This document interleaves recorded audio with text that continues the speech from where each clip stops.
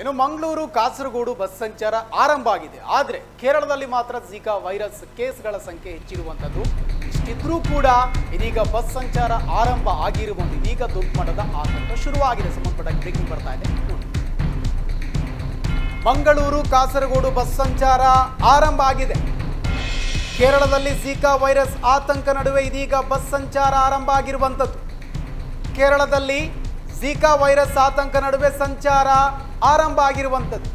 ಕಳೆದ ವಾರದಲ್ಲಿ Zika virus ಆ ಕೇಸ್ ಇಪ್ಪತ್ತ ಒಂದಿತ್ತು ಇಪ್ಪತ್ತ ಒಂದು ಕೇಸ್ ಇತ್ತು ಝೀಕಾ ವೈರಸ್ ಸಂಬಂಧಪಟ್ಟ ಹಾಗೆ.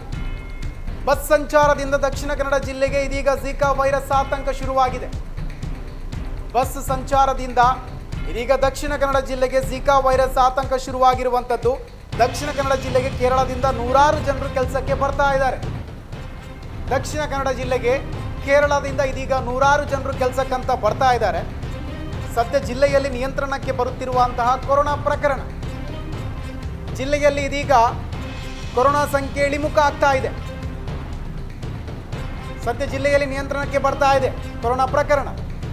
ಕಾಸರಗೋಡು, ದಕ್ಷಿಣ ಕನ್ನಡ ಜಿಲ್ಲೆಗೆ ಬಸ್ ಸಂಚಾರದಿಂದ ಮತ್ತೆ ಆತಂಕ ಶುರುವಾಗಿದೆ.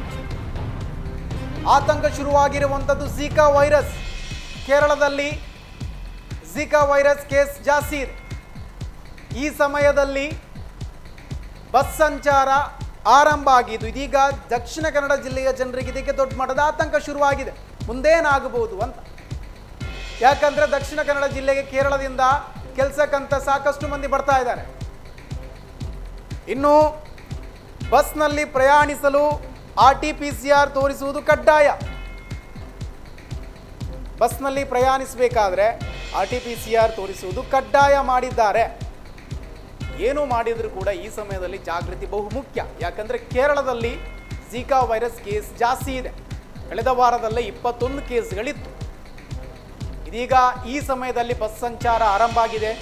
ಜಿಲ್ಲೆಗೆ, ಸದ್ಯ ದಕ್ಷಿಣ ಕನ್ನಡ ಜಿಲ್ಲೆಗೆ ಇದೀಗ ದೊಡ್ಡ ಮಟ್ಟದ ಆತಂಕ ಶುರುವಾಗಿದೆ. ಮುಂದೇನಾಗಬಹುದು?